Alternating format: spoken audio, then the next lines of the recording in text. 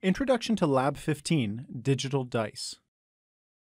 In this video, we will discuss how a variety of concepts and skills developed in the Digital Electronics Lab series will be combined to design and build digital dice in a more independent project.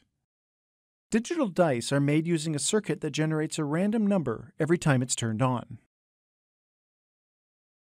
In this lab, you will begin by creating a truth table for each of the six numbers that can be seen on the face of a dice. From these truth tables, you will create combinational logic circuits. Then, you will research two different types of BCD to 7 segment display decoders existing in Multisim and determine which is most appropriate for our purposes. A switched tail counter will be used to generate a sequence of outputs on three lines that will repeat every six pulses. To simulate the rolling of the dice, a high clock speed will be used, at this speed, the eye cannot detect at any given time what number is visible on its face. To stop the dice from rolling, you just need to stop the clock. Finally, you will build a 3 to 4 encoder and put all of these pieces together.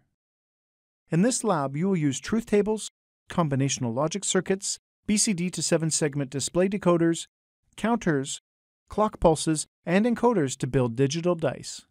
This lab is designed to be a more independent project that combines concepts from several different labs in the series.